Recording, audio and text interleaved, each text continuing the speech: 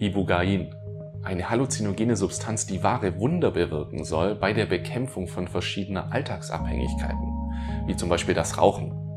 Und in Deutschland sogar legal? Das und mehr in diesem Video.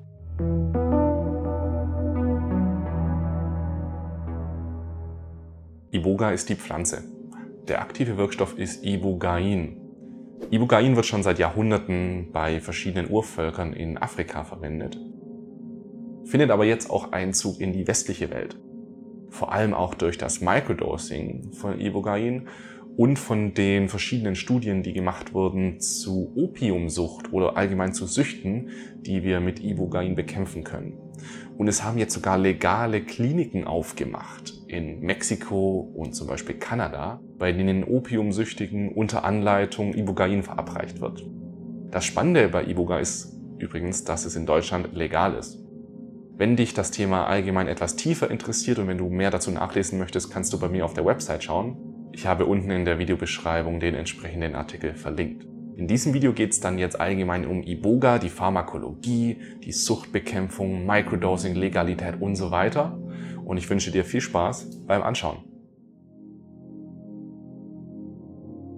Ibogain ist auch ein Tryptamin, genauso wie Psilocybin, was in Magic Mushrooms steckt oder auch Dimethyltryptamin, DMT. Ibogain kommt in verschiedenen Pflanzen vor, ist aber besonders bekannt für das Vorkommen in der Tabernate Iboga. Wie andere Halluzinogene spricht Ibogain besonders den Serotoninrezeptor 5-HT2A an, welcher ja besonders mit dem personifizierten Denken in Verbindung gebracht wird. Ibogain hemmt außerdem wie Ketamin verschiedene NDMA-Rezeptoren und hat eine starke Affinität zu Sigma-2-Rezeptoren und ganz, ganz vielen Opioid-Rezeptoren. Das sorgt dafür, dass der Nervenwachstumsfaktor, der GDNF, im Gehirn stark erhöht wird, was das Gehirn in eine Art Reparaturmodus bringt. Und die Neuroplastizität, also die Fähigkeit des Gehirns, sich selbst neu zu verkabeln, sich neu zu ändern, wird dadurch stark erhöht. Außerdem wird Ibogain in Noribogain umgewandelt und in der Leber abgelagert. Von dort kann es dann noch wochenlang wirken und wochenlang eine Affinität zu den Opioidrezeptoren haben. Verschiedene Patienten, die Iboga in einer vollen Dosierung verwendet haben, berichten davon, dass es eine extrem harte, eine extrem schwere, auch eine sehr körperliche Erfahrung war. Allgemein dürfen wir Iboga hier überhaupt nicht unterschätzen. Es ist ein extremer Rauschzustand, der nicht zu vergleichen ist mit beispielsweise Psilocybin. Es wird aber natürlich auch davon gesprochen, dass Ibogain trotzdem Ähnlichkeiten zu den klassischen Psychedelika hat, auch LSD-ähnliche Zustände auslösen kann.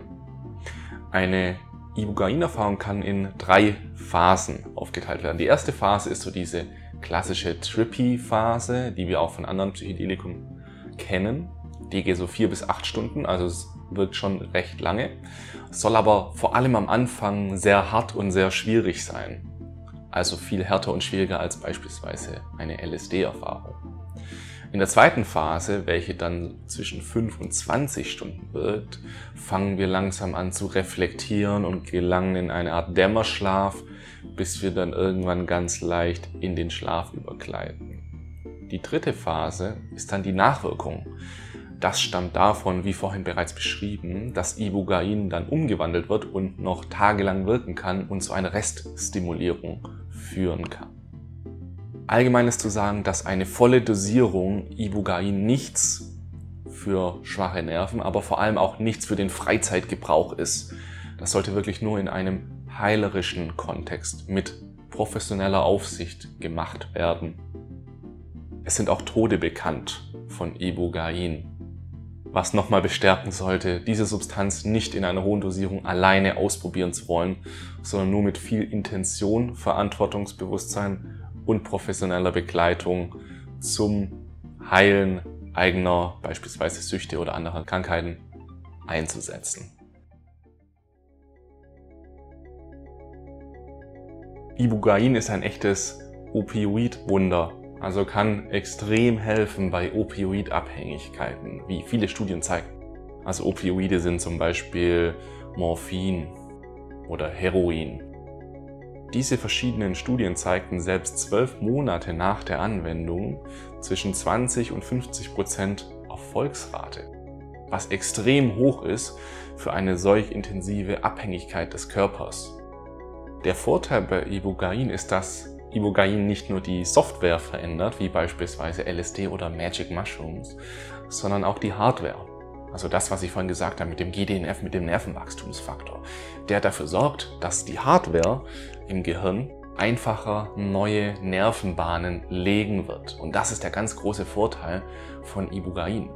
Außerdem stellt es ein gewisses neurochemisches Gleichgewicht her durch den Sigma-2-Rezeptor und schafft nicht einfach nur für einen kurzfristigen Ersatz, wie zum Beispiel andere Heroinersatzstoffe wie Methadon. In Tierversuchen und verschiedener Berichte von Menschen konnte auch immer wieder festgestellt werden, dass Ibogain nicht nur bei solchen starken Abhängigkeiten, sondern auch bei anderen Krankheiten helfen kann. Beispielsweise bei Alzheimer oder Depressionen. Die Studien haben sich bisher aber vor allem auf die einmalige Anwendung von Ibogain konzentriert. Was jetzt ganz spannend ist, ist, dass Ibogain Microdosing immer beliebter wird und anscheinend auch sehr, sehr viele Vorteile bei verschiedenen Krankheiten und verschiedenen Abhängigkeiten zeigen kann. Ibogain kann wie LSD oder Magic Mushrooms auch mit Microdosing eingenommen werden bedeutet in sehr, sehr geringen Mengen, die gerade so von uns wahrnehmbar sind. Der Vorteil dabei ist, dass unser Alltag nicht eingeschränkt wird und wir es praktisch täglich nehmen können und gewisse Vorteile davon ziehen können. Anscheinend soll Ibogain Microdosing besonders dabei helfen, dass wir uns unserer Süchte besser bewusst werden und unserer Verhaltensmuster und soll so besonders geeignet sein für verschiedene Süchte wie zum Beispiel Internetsucht oder eine emotionale Abhängigkeit zu Menschen oder eine Tabaksucht. Der Max vom YouTube-Channel Hyperraum hat dazu auch mal ein Video gemacht, in dem er darüber berichtet, wie er Ibogain Microdosing verwendet hat, um seine Tabakabhängigkeit loszuwerden. In einem Video berichtete er davon. Ja, also ich habe dann vor zweieinhalb Wochen angefangen, ähm, täglich eine so eine Kapsel einzunehmen und habe bei der ersten Kapsel, die ich eingenommen habe, auch definitiv gemerkt, dass da ähm, eine Wirkung kam. Also ich habe mich ein bisschen wacher gefühlt, ich habe mich ähm, etwas angeregt gefühlt. Dann wurde es aber extrem spannend für mich und zwar die nächsten zwei, drei Tage habe ich weiterhin diese Kapseln eingenommen und habe gemerkt, dass mir auf einmal meine Verhaltens- und Gedankenmuster ähm, bewusster geworden sind. Und ich konnte das ähm, ja ganz klar sehen, äh, wie sich meine eigene Persönlichkeit und mein, mein eigener Zustand eigentlich aus diesen Mustern zusammensetzt. Und dadurch, dass ich das bewusster sehen konnte und wahrnehmen konnte, war ich in der Lage, ähm, zum Teil anders zu handeln. Dann habe ich gemerkt, nach zwei, drei Tagen Iboga Microdosing, äh, dass, dass ich auf einmal weniger Lust auf das äh, Nikotin hatte und weniger Lust auf die E-Zigarette. Und ich habe einfach ganz ähm, automatisch, ohne groß darüber nachzudenken, habe ich weniger diese E-Zigarette in die Hand genommen. Wichtig zu verstehen ist, dass Ibogain, egal ob Microdosing oder volle Dosierung, kein Wundermittel ist. Das Wichtigste, wie bei ganz vielen anderen Halluzinogenen, ist die Intention. Wir können nicht einfach Ibogain Microdosing machen und denken, ha, dann kann ich endlich mal aufhören zu rauchen. Nein, wir müssen uns davor schon ganz, ganz stark vornehmen, ich möchte unbedingt damit aufhören. Ich möchte alles dafür tun, damit ich aufhören kann, mit welcher Abhängigkeit auch immer. Wenn wir das dann kombinieren mit Ibogain Microdosing, dann kann es was sehr, sehr Heilsames sein. In vielen Ländern ist Ibogain illegal, die Pflanze aber, zum Beispiel Tabernate iboga, legal. Das ist wie bei Mescalin und San Pedro, da ist es ähnlich. In verschiedenen Ländern ist Ibogain aber illegal, zum Beispiel in der USA oder in der Schweiz. In Deutschland hingegen ist Ibogain nicht im Betäubungsmittelschutzgesetz aufgeführt und deshalb nicht reguliert. Es darf nur nicht als Arzneimittel verwendet werden. Der Kauf von Ibogain, beispielsweise über verschiedene Online-Shops in Deutschland, ist legal.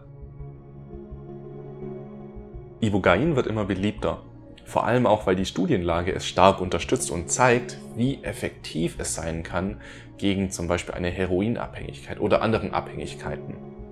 Besonders spannend bei Ibogain ist diese Kombination aus der Hardwareveränderung, also der Erhöhung der Neuroplastizität und des Nervenwachstumsfaktor GDNF und der Software, also die Persönlichkeitsänderung, das Erkennen, dass Rauchen scheiße ist. Und diese Kombination macht es so besonders effektiv. Und das Spannende ist natürlich auch, dass es jetzt durch Microdosing eine gewisse Alltagstauglichkeit erreichen kann und in Deutschland legal ist, was super spannend ist. Allerdings muss gesagt sein, dass Ibogain in höheren Dosierungen sehr gefährlich werden kann und nur unter ärztlicher Aufsicht konsumiert werden sollte. Wenn du mehr wissen möchtest zu Ibogain, zu Ibogain Microdosing und zur Beschaffung von Ibogain, dann schau jetzt in meinen Artikel unten. Ich habe ihn dir gleich unten verlinkt.